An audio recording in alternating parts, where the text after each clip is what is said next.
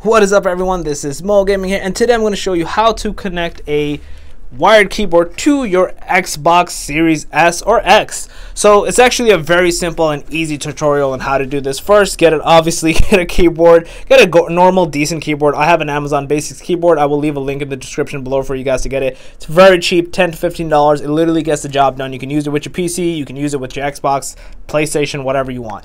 Um, what you're gonna do is you're gonna connect the USB wired basically into the Xbox itself, as you can see over there. Just connect it directly to the Xbox.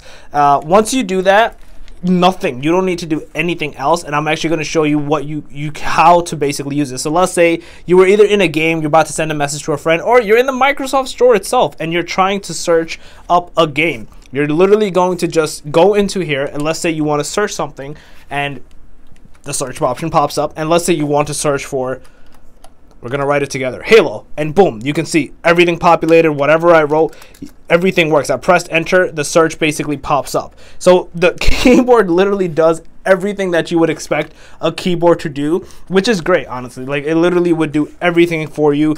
You could ah crap, press enter again. I was going to try to do backspace.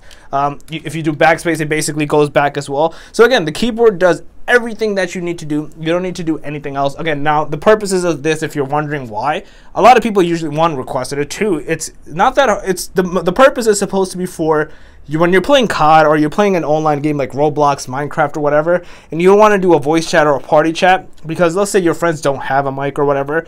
Again, back before people used to just text and chat via the game in-game messages, and a lot of games still have that, such as Minecraft, Roblox, and etc. I feel like all games still have that, especially MMORPGs.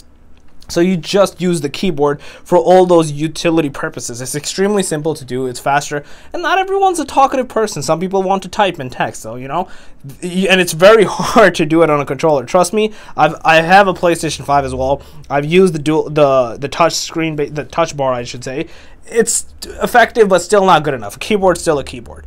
Um, so yeah, that's literally how you do it. It's extremely simple and easy to do. Uh, if you guys want to know how to do a wired connection, wired USB one instead, uh, I mean wireless instead, I can make another video on that. Just let me know in the description below, uh, comments below, and yeah, I'll go from there. But yeah, if you guys overall like this video, please smash that like button, helps out. If you're new to the channel, make sure to subscribe and click that notification bell. And that, mugging out. Peace.